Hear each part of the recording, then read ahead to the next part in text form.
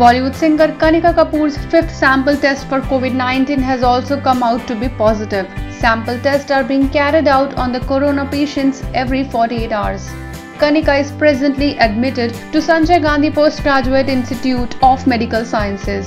Director of the institute Professor R. K. Dhiman said that the singer's condition was stable and there was no cause for worry. Kapoor has tested positive for coronavirus for the fifth consecutive time. Kanika, who was hospitalized on March 20 after she tested positive for coronavirus, had returned from London on March 9 and then traveled to Kanpur and Lucknow and during her stay she developed cough and fever. After she tested positive, she was slammed by the media for attending parties and spreading the virus though none of those who came into contact with her tested positive.